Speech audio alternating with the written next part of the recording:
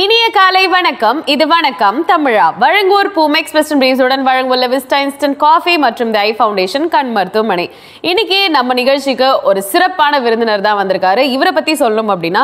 எல்லா ஜென்ரேஷனுக்குமே ரொம்ப ரொம்ப ஃபேவரட்டான ஒருத்தர் அப்படிப்பட்ட ஒரு பெர்ஃபார்மர் ஒரு ஆக்டர் ஒரு என்டர்டெய்னர் இவரை பற்றி சொல்லிட்டே போகலாம் ஆக மொத்தம் இவர் ஒரு லெஜெண்டரி ஆக்டர் அப்படின்றது உண்மை ரொம்ப கரெக்டாக சொல்லியிருந்தா ஆர்த்தி கிட்டத்தட்ட ஃபார்ட்டி ஃபைவ் இயர்ஸ்க்கு மேலே தமிழ் சினிமா இண்டஸ்ட்ரியில் இருந்து நானூறுக்கும் மேற்பட்ட படங்கள் படங்களில் அசத்தலான ஒரு நடிப்பை வெளிப்படுத்தி எல்லார் மனசுலயும் ஒரு மிகப்பெரிய ஒரு இடம் பிடிச்சு தமிழ் சினிமாவின் தவிர்க்க முடியாத நடிகர்களில் ஒருத்தராக வந்து இருக்கார் வெள்ளித்திரையா இருக்கட்டும் சின்ன திரையா இருக்கட்டும் இல்லைனா ஃபோன் திரையா இருக்கட்டும் ஷார்ட் ஃபிலிம்ஸ் வெப் சீரிஸ்னு இன்னைக்கு சினிமா அண்ட் டெக்னாலஜி எந்த அளவுக்கு அப்டேட் இருக்கோ அதே அளவுக்கு வந்து அப்டேட்டடாக இருந்து பெர்ஃபார்ம் பண்ணக்கூடிய ஒரு ஃபென்டாஸ்டிக்கான ஒரு ஆக்டர் இவர் அண்ட் சிம்பிளாக நம்மளுடைய ஸ்டைலில் இவரை பற்றி சொல்லணும் அப்படின்னா இந்தியா அப்படின்னா டெல்லி பயங்கர ஃபேமஸ் டெல்லின்னு சொல்லிட்டு சினிமாவில் சொன்னாலே இவருடைய பேர் தான் எல்லாருக்கும் ஞாபகம் வரும் அந்த அளவு அளவுக்கு இவர் ஃபேமஸ் ஸோ இப்போவே எல்லாரும் யாரு அப்படின்னு சொல்லிட்டு கண்டுபிடிச்சிருப்பீங்க so let's welcome the legendary actor Delhi Ganesh sir welcome sir so வணக்கம் தமிழாக்கு வந்திருக்கீங்க எங்களுக்கு ரொம்ப ரொம்ப சந்தோஷமா இருக்கு எப்படி இருக்கீங்க நல்லா இருக்கேம்மா சூப்பர் சார் அண்ட் சார் இன்னைக்கு வந்திருக்காரு ஆர்த்தி ஸோ இன்னைக்கு வந்து நான் ஒரு குட் பாயா இருக்க போறேன் நீ குட் பாயா நீ வந்து பேட் பாய் ஏன்னா ஏதோ பேட் பாய்னு சொல்றாங்களே நான் அப்படின்னா என்ன பேட் பாய்னா ஒன்றும் இல்லை அயோக்கி பையன் ஸோ சார் இந்த மாதிரி ஒவ்வொரு டைலாக் எங்களுக்கு வந்து மனப்பாடமாக தெரியும் அவ்வளோ வந்து எங்களை சூப்பராக என்டர்டெயின் பண்ணியிருக்கீங்க ஸோ ஃபஸ்ட்டு வந்து உங்ககிட்ட ஒரு முக்கியமான ஒரு கேள்வி கேட்கணும் அப்படின்னு சொல்லிட்டு ஆசைப்பட்றேன் நீங்கள் வந்து ஏர்ஃபோர்ஸில் இருந்தீங்க அப்படின்னு சொல்லிட்டு எல்லாருக்குமே வந்து தெரியும் ஸோ இந்த பார்த்தவுடன் காதல் அப்படின்னு சொல்லிட்டு சொல்லுவாங்களே சார் அதில் எங்களுக்குலாம் நிறைய நம்பிக்கை இருக்குது ஸோ சினிமாவை பார்த்தவுடன் உங்களுக்கு ஒரு காதல் ஏற்பட்டு சினிமாக்குள்ளே வந்தீங்களா எப்படி சினிமா மேலே அந்த லவ் ஏற்பட்டது முதல்ல ட்ராமா ஓகே நான் ட்ராமாவில் தான் ஆக்ட் பண்ணிகிட்டு இருந்தேன் முதல் ட்ராமாவே யாருக்காக போட்டேன்னா அந்த பாகிஸ்தானில் சண்டை போட்டு வருவாங்கள்ல ஓகே இந்த ஊழல் ஜவான்ஸ் கை இல்லாமல் கால் இல்லாமல் அவங்களுக்கு ஒரு என்டர்டெயின்மெண்ட்டுக்காக நாங்கள் நாடகம் போட்டோம் தமிழ் மலையாளம் ஹிந்தி எல்லாம் போடுவோம்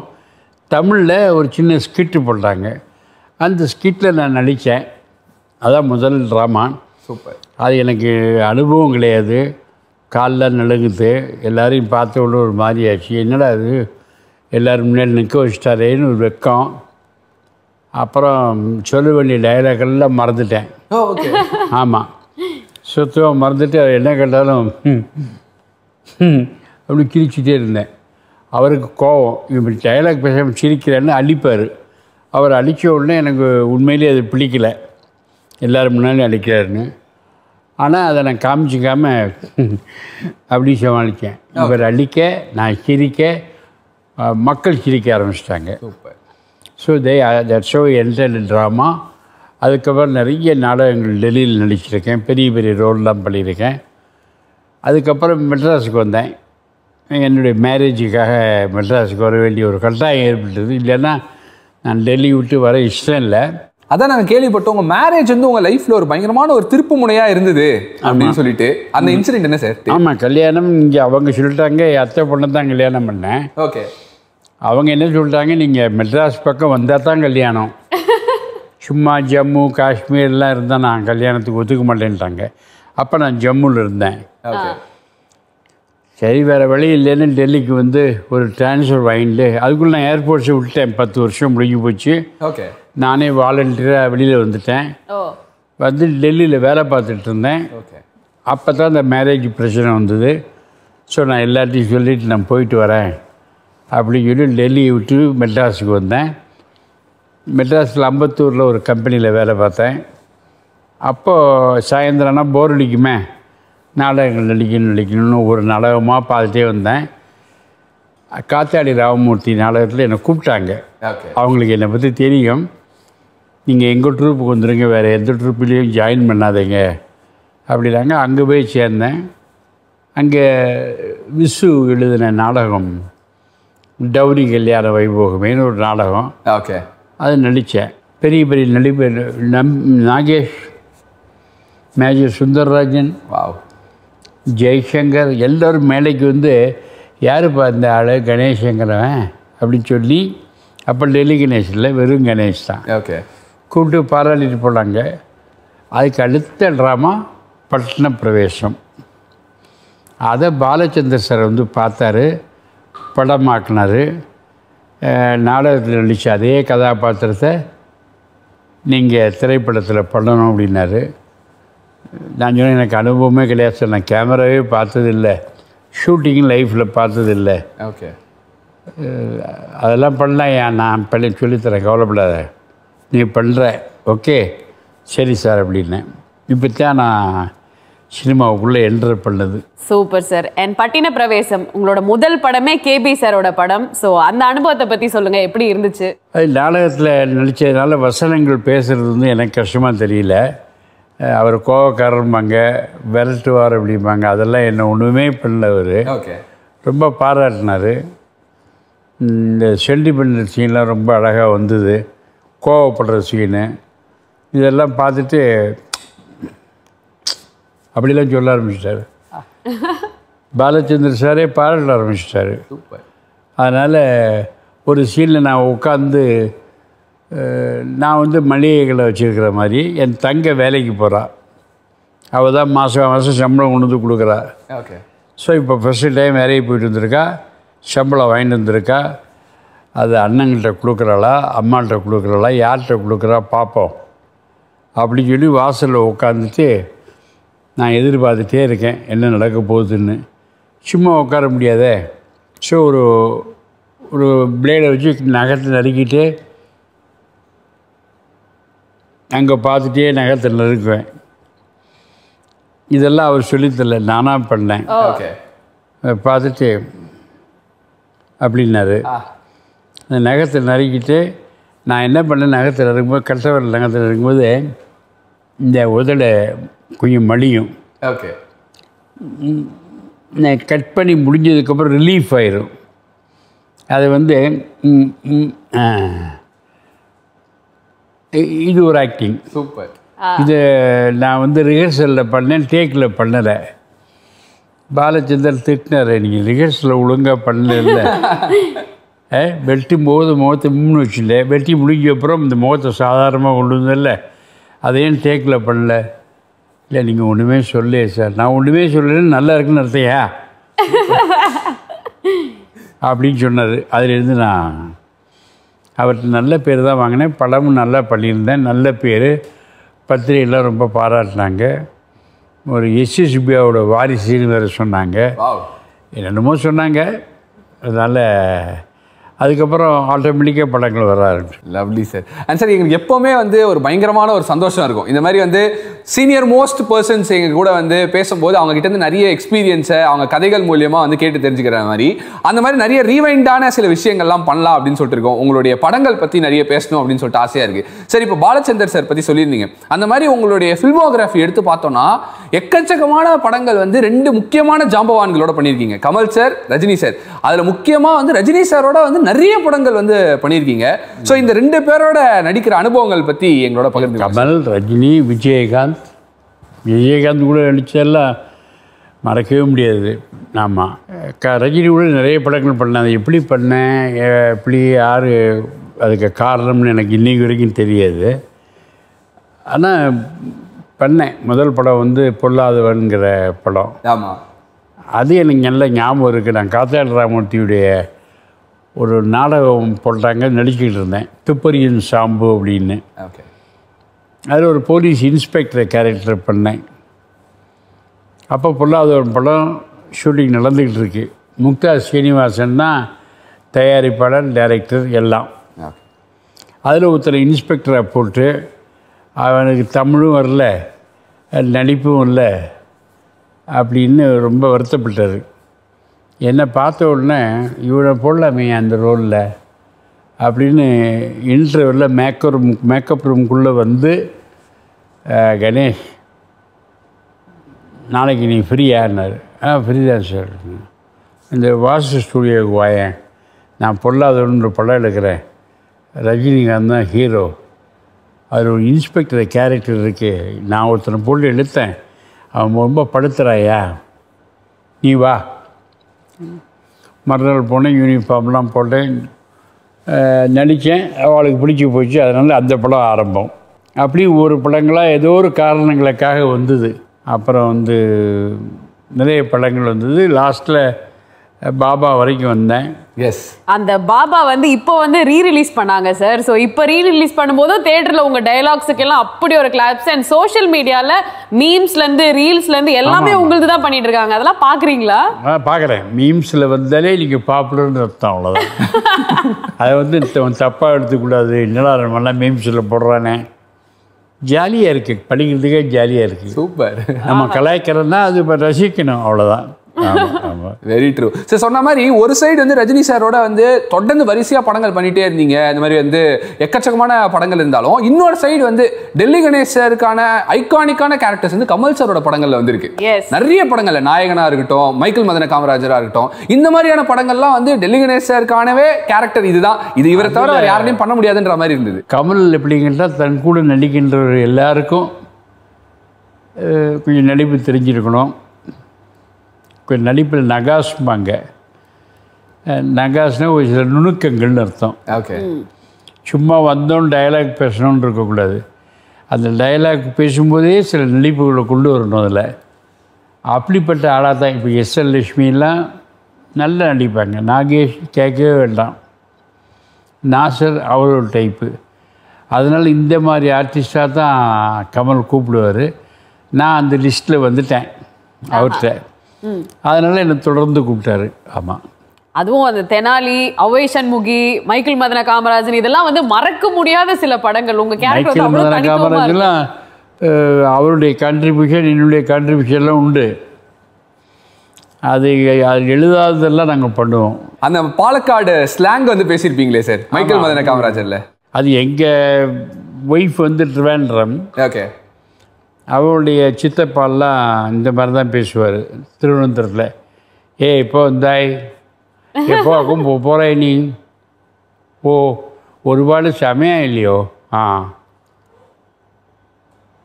அதுக்க பார்த்து பார்த்து போனால் போகிறோம் கேட்கட்டையா ஒன்றும் அவசரப்பட வேண்டாம்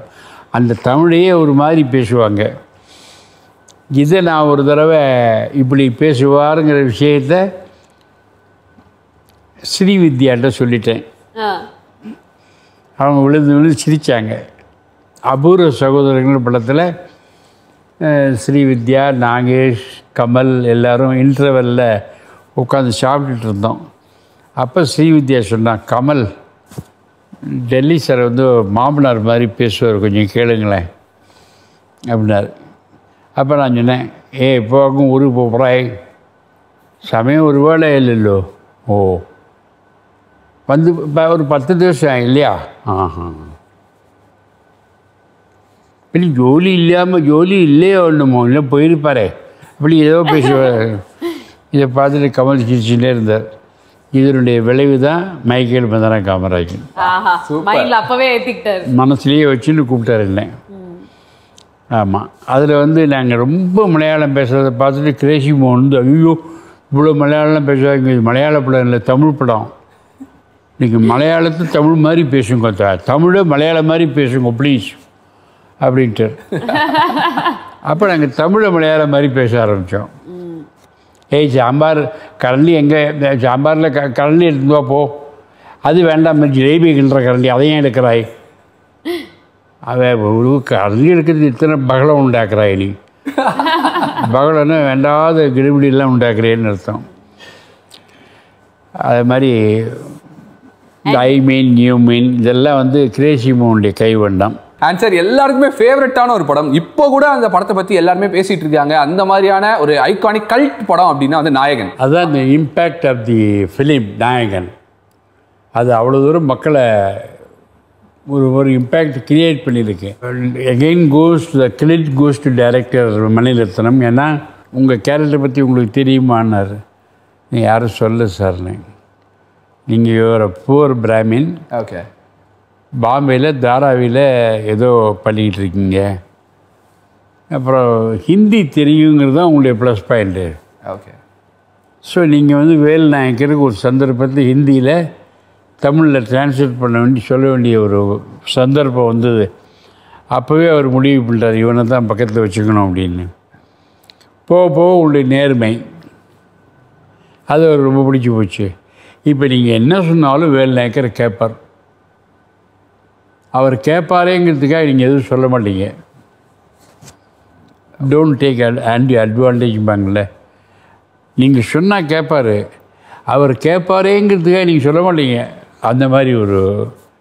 கேரக்டர் அதனால தான் நீங்கள் பார்த்தீங்கன்னா படத்தில் பக்கத்தில் உட்காந்துருந்து கமல் என்னை பார்த்தா கூட நான் வந்து அப்படி முன்னால் வருவேன் என்ன அப்படின்னு அந்த மாதிரி ஒரு கேரக்டராக பண்ணேன் நோ டைலாக் மச்சு ஆக்ஷன் தான் அதில் இந்த ஆஸ்பத்திரி சீனில் தான் கொஞ்சம் டைலாக் வரும் என்ன இல்லைன்னா நான் சொல்லலையே நான் சொல்லவே இல்லை எவ்வளோ அடித்தாங்க எனக்கு எங்கே இருந்த அந்த தைரியம் வந்து தெரியல அப்படிம்பேன் சரி பார்த்துக்கங்க அழிவார் அது வரைக்கும் தான் இருந்த டைலாக் ஓகே நான் அதை என்ன பண்ணேன் பார்த்திங்கன்னு நான் போகிறேன் நான் இருந்து என்ன பண்ண போகிறேன் நீ நல்லா இருக்கணியா